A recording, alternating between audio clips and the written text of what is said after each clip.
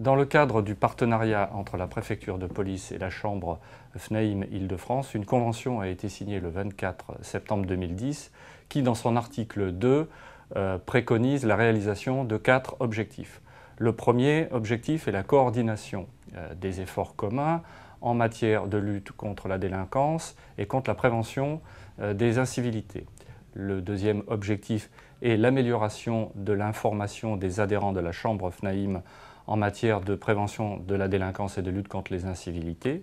Le troisième objectif est l'accompagnement euh, des personnels actifs, administratifs et techniques de la préfecture euh, de police euh, dans la recherche de logements au niveau de l'agglomération parisienne. Enfin, le quatrième objectif est la facilitation de la reconversion de ces mêmes personnels dans les métiers de l'immobilier.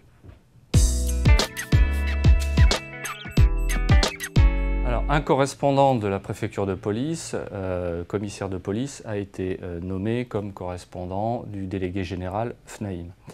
Euh, des cadres référents police ont été également nommés dans chaque département.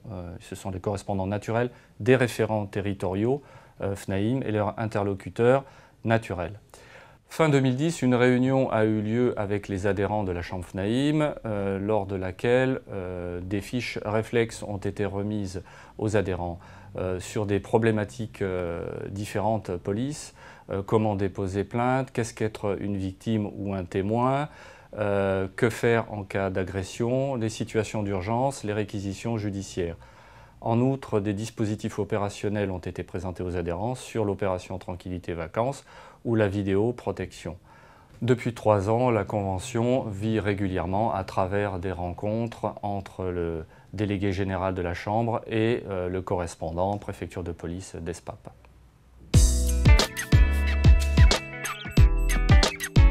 L'accent euh, sera mis sur la nécessité d'établir des relations plus euh, pérennes et régulières avec les adhérents de la Chambre FNAIM. Euh, ensuite, nous tâcherons de relancer les groupes locaux de sécurisation en en consolidant les bases. Ensuite, nous travaillerons sur les mallettes pédagogiques en matière de formation qui sont déjà prêtes, mais que nous allons distiller aux adhérents de la Chambre euh, très très prochainement, notamment lors euh, d'une réunion que nous allons avoir. Et euh, nous travaillons sur la nouvelle plaquette qui est en train d'être réactualisée.